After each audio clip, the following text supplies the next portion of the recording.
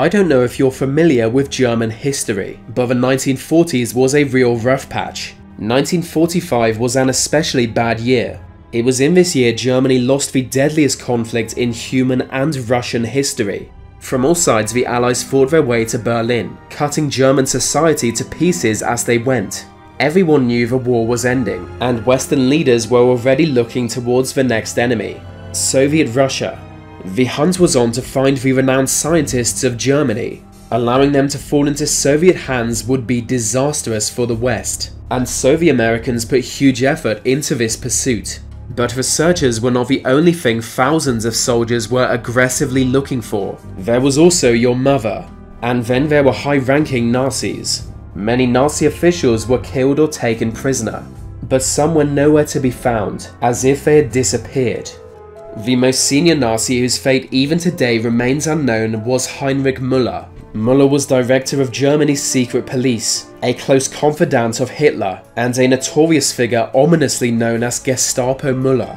Such a man could easily have died in the bombing of Berlin. More than 2 million artillery shells were dropped on the city, but he could just have easily slipped away, and in the chaos of that time, escaped. In the years and months leading up to Germany's defeat, many Nazis carefully planned ways to escape. It's thought over 10,000 Nazi officials successfully fled to South America. So many made it that they were able to establish their own colonies on the continent, entire communities of former Nazis, who were rich and influential enough to help shape the modern history of South America.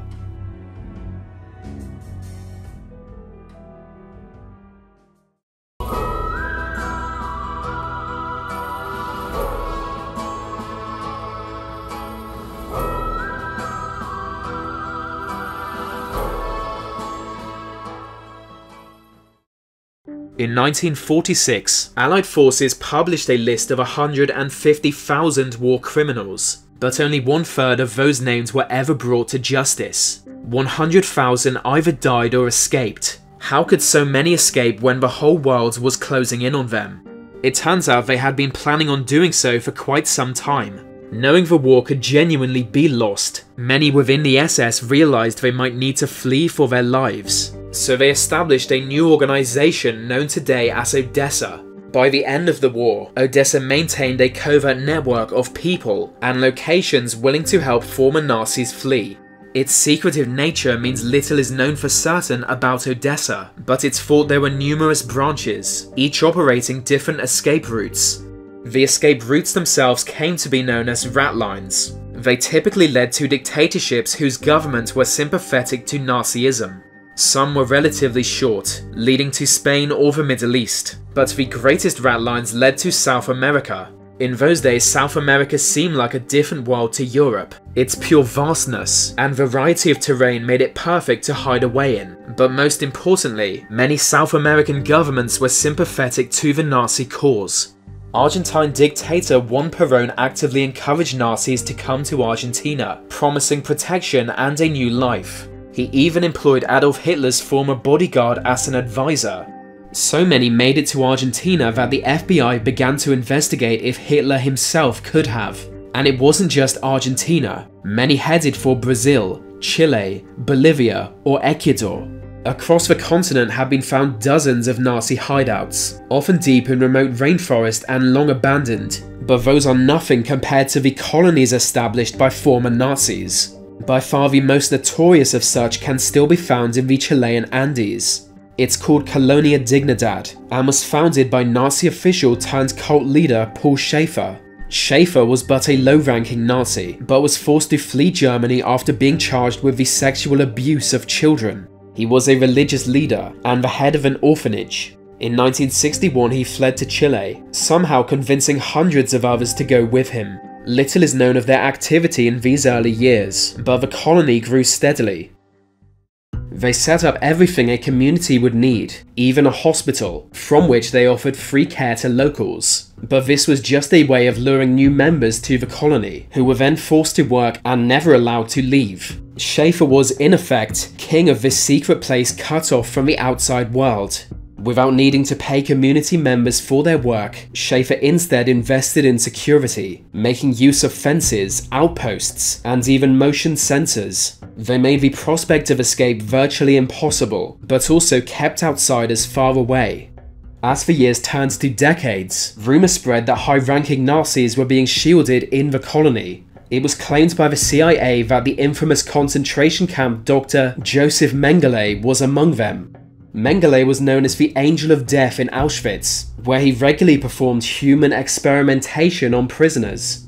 After the war, he took a rat line to Argentina. It's known he spent time there, in Paraguay, and in Brazil, where he eventually died a free man, so the prospect of him being in Chile is not exactly absurd.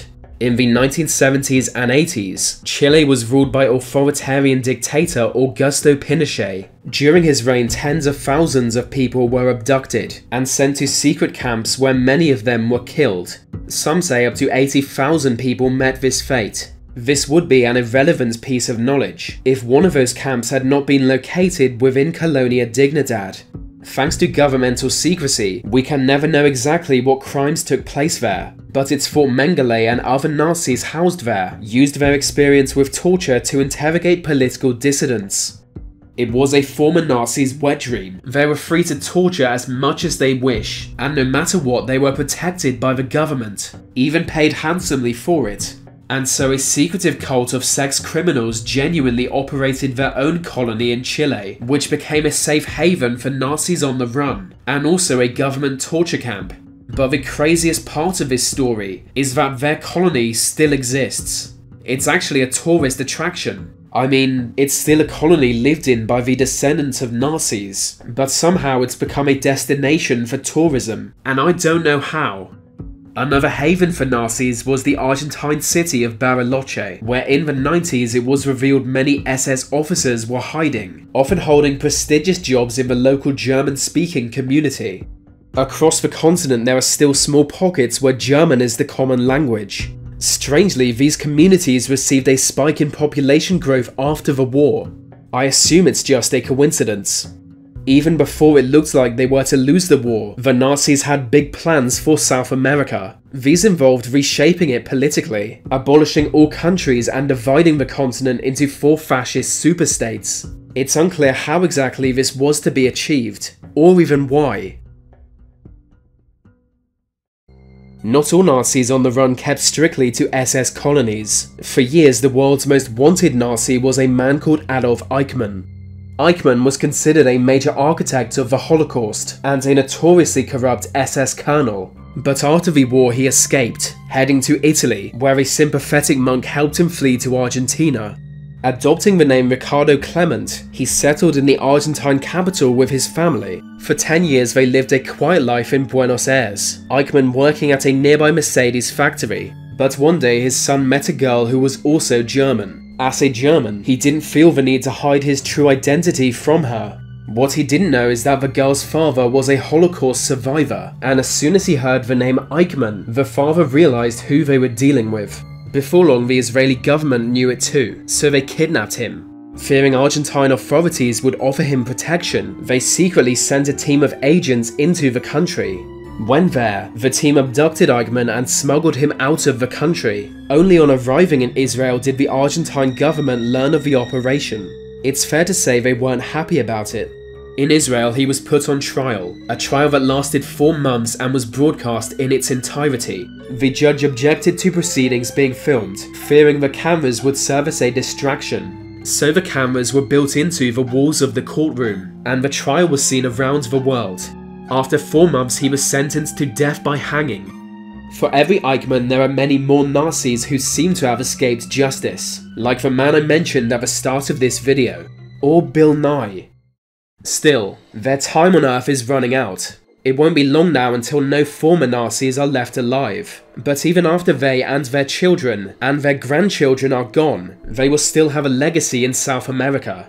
Of all the towns, neighbourhoods and colonies built by them after the war, it's inconceivable that none will survive. And while colonies like Colonia Dignidad and figures like Eichmann are well known, there could be all kinds of people and all kinds of places still hidden, waiting to be found.